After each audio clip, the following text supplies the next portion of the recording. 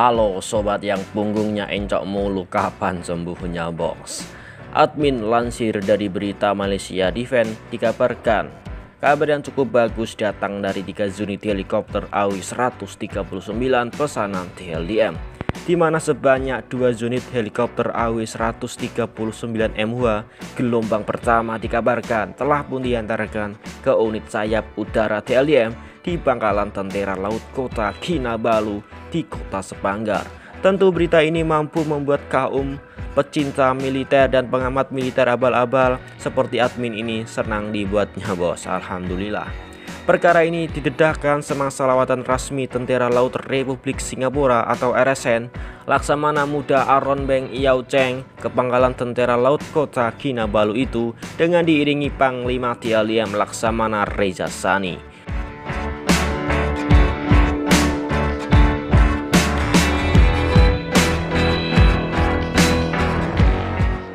RADM Bank melawat unit sayap udara TLDM yang termasuk Skuadron 601 yang mengendalikan Boeing In Situ Scan Eagle dan AW139 yang baru diantarkan dari pabriknya bos.